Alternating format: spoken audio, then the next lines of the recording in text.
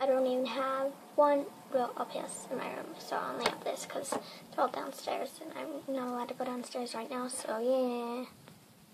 What the fuck? So I asked of you to give me questions for a Q&A. So yeah, leave down your questions down below. You can click right there and it'll take you out of the video. Because it'll say comment. Right there. And if you want to like my video, just hit right here. If you want to subscribe, right there. Thank you guys. Bye-bye. Because you know I'm all about that bass, about that bass, no trouble. I'm all about that bass, about that bass, no trouble.